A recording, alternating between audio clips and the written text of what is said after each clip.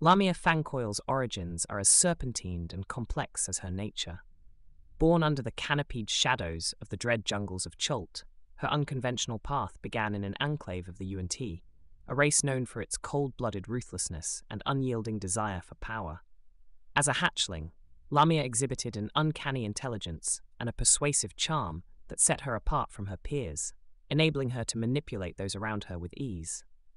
However, it was not her physical strength, but her cunning and her innate connection to the arcane that marked her destiny.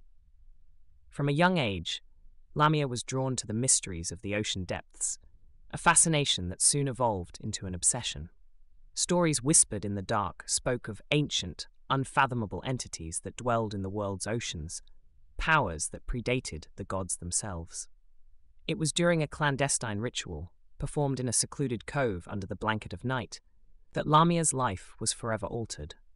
She forged a pact with a being from the fathomless depths, an entity that promised her unimaginable power in exchange for her servitude.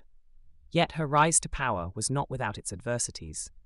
Lamia became a folk hero among the disenfranchised and the downtrodden, not through benevolence, but through acts of rebellion against the tyrannical leaders of neighboring realms.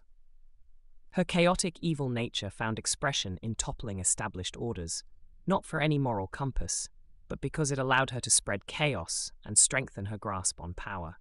As Lamia Fangcoil's legend grew, so did her ambitions. She wanders the lands, a harbinger of the fathomless depths, weaving plans that are as inscrutable as the dark waters of her patron. With her serpentine cunning and eldritch powers, Lamia seeks to unravel the fabric of the world, whilst drawing ever closer to fulfilling the insidious will of the entity that lies in the depths far below.